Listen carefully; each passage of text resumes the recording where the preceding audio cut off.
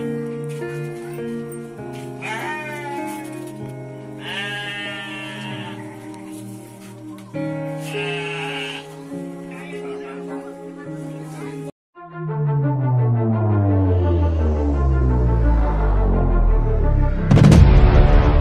Beginilah kondisi warga yang memilih mengungsi di kandang kambing usai gempa Cianjur mengguncang pada Senin 21 November 2022 siang lalu. Setiap harinya warga harus rela mencium bau kandang dan kotoran kambing yang cukup menyengat. Meski demikian, warga mengaku merasa lebih aman dan nyaman ketimbang tinggal di posko pengungsian. Pasalnya, lokasi kandang kambing ini berada jauh dari rumah warga yang sebagian runtuh akibat gempa. Sementara itu, ada sebanyak 7 75 warga korban gempa yang mengungsi di kandang kambing.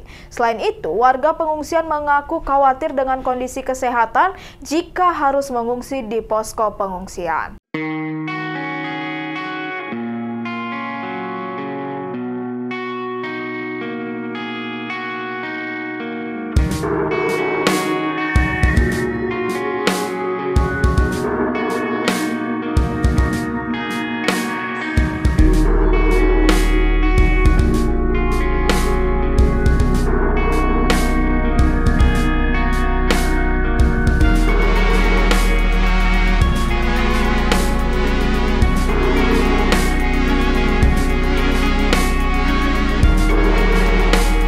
Ikuti terus berita menarik lainnya. Jangan lupa like dan share seluruh akun Tribun Medan.